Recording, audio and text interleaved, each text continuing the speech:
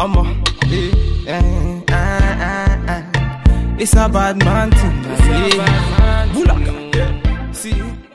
Welcome back to the channel, Wigs2WaistLength here. Another quick show and tell. And this is a unit that I actually bought with my own coins. and it comes from Dress Lily.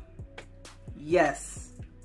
I know it is always a gamble with Dress Lily. so big shout out to my viewer. She requested that I review not this wig in particular, but she was just curious about some wigs she saw on Dress Lily.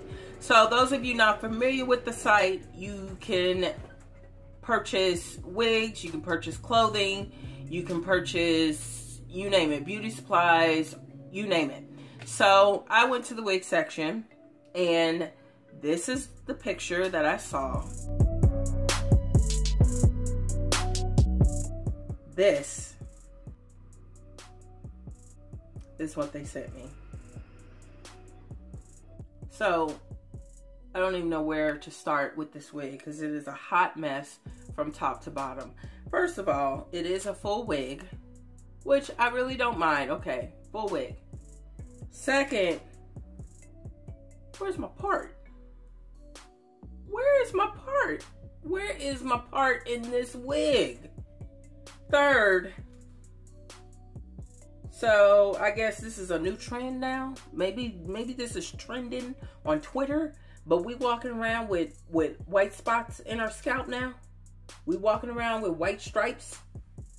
We walking around with a plastic closure. I'm gonna go ahead and try this wig on for you guys.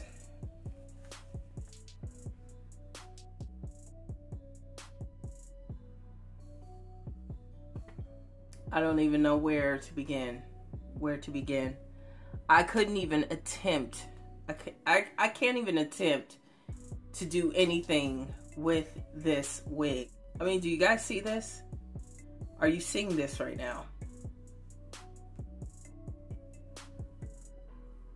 So, if you have thought about ordering Dress Lily, maybe you just put in your order. Maybe you got some stuff waiting in your cart, girl backspace. I need you to backspace out of Dress Lily right now. Unless you are 100% positive that you are going to get what you are looking to buy, don't do it.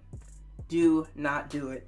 This was a very, a very cheap wig. I think it was under like $15, something like that. But this is going to be my daughter's Halloween costume.